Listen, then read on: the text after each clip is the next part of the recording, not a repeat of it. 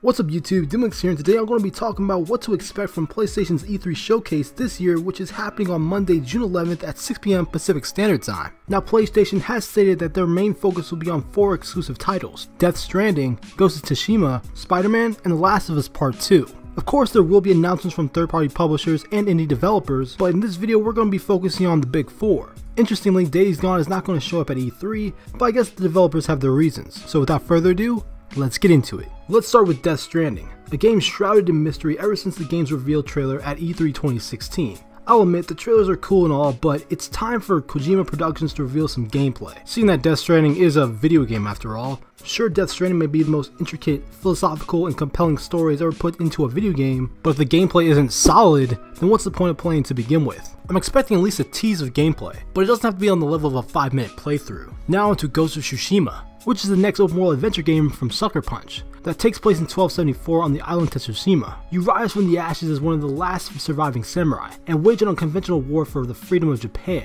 Like Death Stranding, I'm expecting a gameplay reveal and a better understanding of the overall story, characters, and gameplay features Sucker Punch is introducing in their new IP. Next we have Spider-Man PS4, one of my most anticipated games of the year. Everything I've seen so far from Insomniac's take on the web-slinging wall crawler is shaping up to be one of the best Spider-Man games yet. From the combat, exploration, the alternate costumes, the visuals, and the sheer amount of content packed into this game. I'm expecting Spider-Man PS4 to show the most content during this E3 showcase, which includes new villains, gameplay walkthrough, and more story details about the game itself. The game is releasing in September, which is only 4 months away, so the wait is almost over. And last but not least, The Last of Us Part 2. The sequel to one of the most highly critical acclaimed games of the last generation of consoles is about to take center stage once again at this year's E3. No doubt my mind we'll get a gameplay reveal possibly playing as Ellie, or the unofficial named character that who is most likely Ellie's mom, as well as more story info on The Last of Us Part 2 and a release window of 2019.